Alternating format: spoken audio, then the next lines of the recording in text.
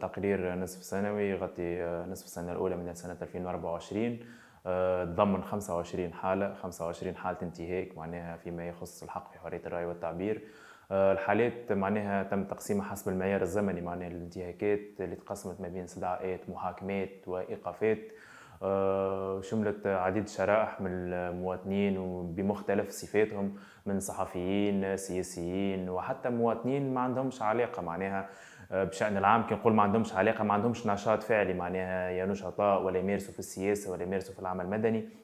المواطنين عبروا على رايهم بصفة عفوية إما تدمروا من الوضع الاجتماعي أو من الوضع الاقتصادي فيلقاو رواحهم معناها واقفين قدام القضاء آه، على خلفية الشيء اللي قالوه. آه، أبرز الحالات آه، فيما يخص الصحفيين واللي هما معناها تقريبا الفئة الأكثر عرضة للانتهاكات هذه استدعاءات شملت هيثم المكي محمد بوغلاب وأشهر الحالات في شهر ماي تقريبا اللي هما برهان بسيس ومراد الزغيدي وسونيا الدهماني اللي مازلنا نطالبوا بإطلاق سراحهم واسقاط كل التهم عليهم. آه، كيف كيف مواطنين آخرين ممكن نذكر منهم حالة آه، اللي هي حالة غريبة جدا لحاله المواطن فيصل العبيدي اللي هو في السجن فيما يخص اللي تم اطلاق سراحه في العفو الاخراني آه، فيصل كتب commentaire عادي تفاعلا مع خطاب رئيس الجمهورية في عيد قوات الجيش الوطني.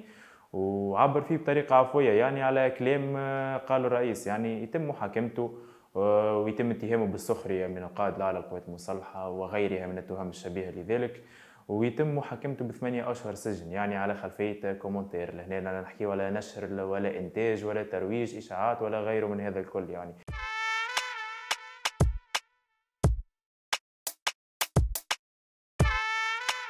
التقرير هذا رصدنا حالات ال 54 اللي هما آه، برشا الحقيقة فما نشطاء سياسيين ممكن محمد وليد الزايدي اللي هو ناشط في حزب العمال بجهة القيروان واللي قام بمشاركة تدوين هبطتها مؤسسة إعلامية.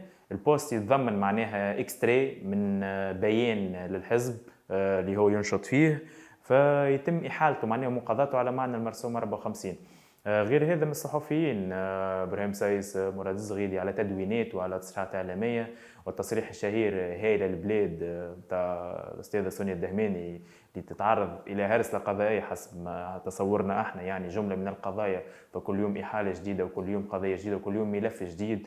آه، كيف كيف غير هذا سياسيين آخرين فما العديد والعديد اللي إما تتحرك لهم النيابة العمومية ولا يشتكيهم مؤسسات الدولة باجهزتها إما وزارات ولا حتى ليزي معناها اللي دخلت في السباق تاع 54 مؤخرا إلى جانب وزاره العدل وزير الشؤون الدينية اللي كانوا في الأول هما يتصدروا معناها مراتب الشكايات على 54 نلقاو ليزي يعني اللي ولات تشتكي بالناس. ما بين الحالات هذا نذكروا آه، الموظفين أو أعضاء الهيئة السابقين آه، زكي الرحموني اللي تعرض كيف كيف المظلمة قضائية. وإلى جانب سامي بن سلامة على خلفية شنو؟ على خلفية تدوينات ابداوا فيها رايهم من مردود الهيئة ومردود الحكومة والوضع السياسي في تونس. فيلقاو المرسوم 54 لهم بالمرصاد.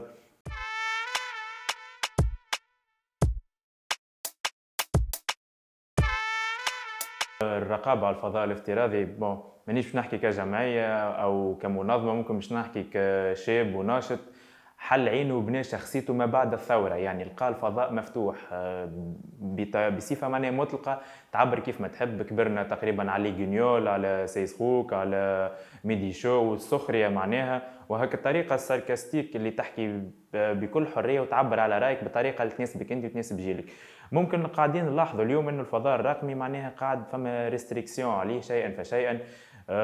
من قبل شكون؟ من قبل الدولة. أو ممكن هي الإرادة السياسية. يعني هي أنا من رأيي أنه الإرادة السياسية هي اللي تحدد كل شيء. اليوم الإرادة السياسية ماشية نحو الانغلاق والتضييق على حرية الرأي والتعبير. من خلال المحاكمات. اليوم تلقى الناس قاعدة تشد على statut فيسبوك آه، على partage على commentaire. آه، ال blocage اللي قاعد يصير معناها من les pages نتاع الدولة واللي هي نعتبروها حاجة تبع مؤسسات الدولة.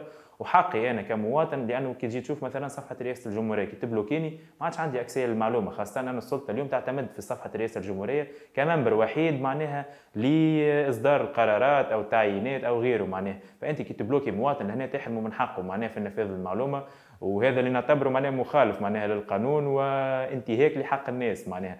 à part ال blocage à part انتهاك حق نفاذ المعلومه حق في حرية الراي والتعبير معناها. أنا كسلطة ما نجمش نقابلك عندنا هكا ال plateforme هذاك باش نعبر فيها على رأيي. بخلاف les blocages هذا تجي المحاكمات معناها المحاكمات أنه الناس اليوم تسمع في محاكمات خمس سنين وأربع سنين على statut فيسبوك. وبخلاف المحاكمة ما يتبع هكا المحاكمة من ضرر نفسي ومن فترة إيقاف معناها ممكن تدوم حتى عامين. فقاعدين نشوفوا الفضاء الرقمي معناها شيئا فشيء ولا فضاء غير آمن.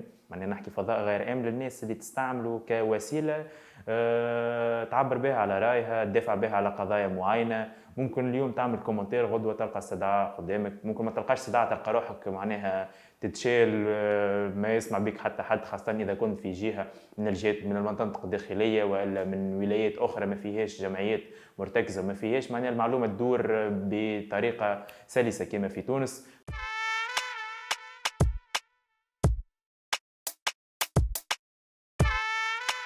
بالنسبة للقضاء معناها هذا بروسي طويل إحنا في تقاطع بدينا نحكيو عليه حتى ممكن من قبل 25 جويليا نبدأ من المحاكمات العسكرية. كانت تفكروا معناها من 25 جويليا حتى الآخر 2021 البيك تاع المحاكمات العسكرية طلعت بطريقة رهيبة معناها لأنه ممكن الدولة وقتها عندها ثقة في القضاء العسكري وما عندهاش ثقة في القضاء العدلي قبل ما يصدر الأمر بإعفاء القضاة قبل ما تصير عملية تطهير القضاء ويتحول من سلطة إلى وظيفة يعني.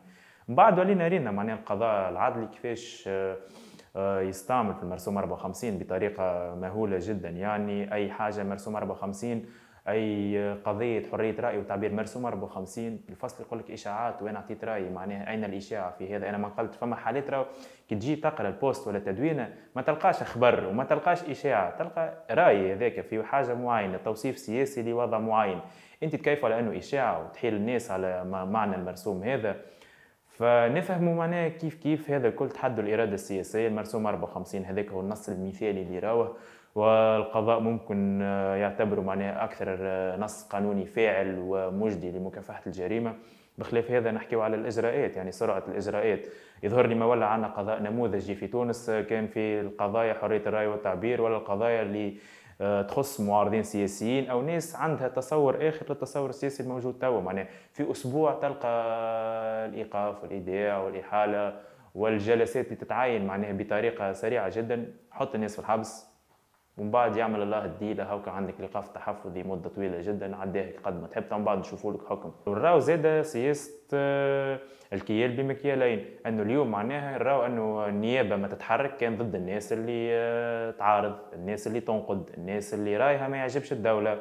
من جهة أخرى نلقاو المنابر الإعلامية آه، مساحة للتشهير والثلب والتهكم على الناس واتهامهم وتخوينهم. وما نراو حتى تحرك من هذا. ماناش نطالبوا بمصادرة رأي الناس أما كوميم أنت كدولة معناها عندك تمشي التمشي هذاك يكون واضح علاش تستهدف في جهة وجهة لا؟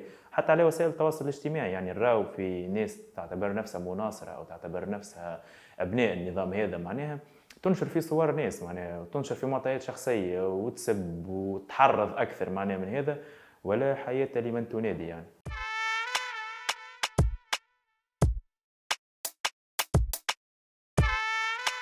توصيتنا تقريبا هي نفس التوصيات الإجرائية اللي تعبنا وإحنا نقولوا فيها على مدى سنوات. إلغاء المرسوم 54 إطلاق سراح الشباب الحفاظ على حرية الرأي والتعبير احترام الدستور اللي نص على حرية الرأي والتعبير في فصل مهم جدا. كان في دستور 2014 قدم على دستور 2022 احترام المواثيق الدولية واحترام تونس التزاماتها الدولية يعني في حماية حقوق الإنسان. الكف على ترصد الناس. الكف على الخطاب التحريضي والتخويني اللي قاعد يتصدر بصفة يومية وخلانا في حالة انقسام ما بين عملاء وخنونة ومواطنين صادقون الوطنيون. يعني آه هذا هو توصياتنا. توصياتنا ممكن لنا إحنا أكثر من السلطة أن نواصل العمل أن المجتمع المدني آه، ما يرخش أنه يكمل اللي بدا به المشوار اللي بداه راك تشوف السلطات تتغير والحكومات تتغير ومن آه، مناخ سياسي إلى آخر شكون قاد ممكن قاعدة كان الناس اللي تعارك على المبادئ هذه واللي كانت عركتها من قبل عركة حرية رأي وتعبير.